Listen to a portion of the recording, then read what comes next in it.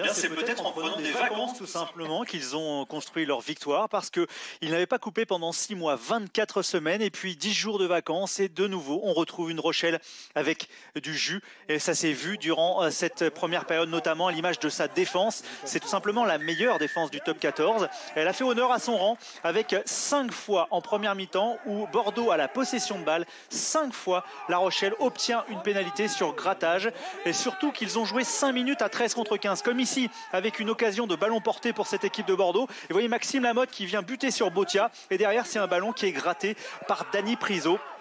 Résultat, eh bien, à 13 contre 15, La Rochelle encaisse aucun point. Il y a trois partout à cet instant du match. C'est sa défense qui lui permet de rester dans le match. Et puis derrière, ils vont même marquer trois points par Ayaya West. Ça veut dire qu'à 13 contre 15, il marque des points et il vire à la mi-temps avec un avantage de 6-3.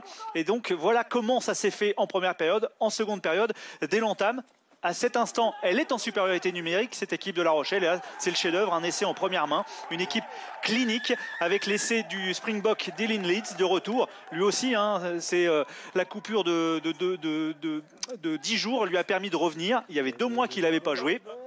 C'est le premier des trois essais de La Rochelle qui aurait pu prétendre au bonus. Elle se contente de 4 points, mais en tout cas, c'est un gros coup à frapper par cette équipe de La Rochelle avant le retour de ces quatre internationaux. Cette équipe sera alors certainement encore plus redoutable.